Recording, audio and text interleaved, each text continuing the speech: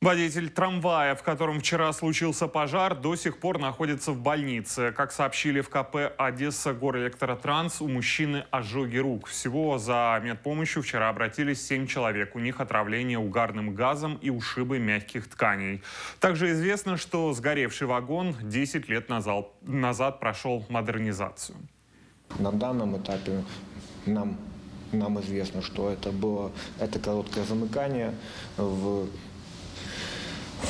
щитовой сзади, э, э, за спиной водителя, это в, это в кабине водителя.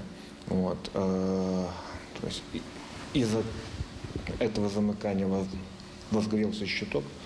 Вот. Водитель это попытался потушить самостоятельно. Вот.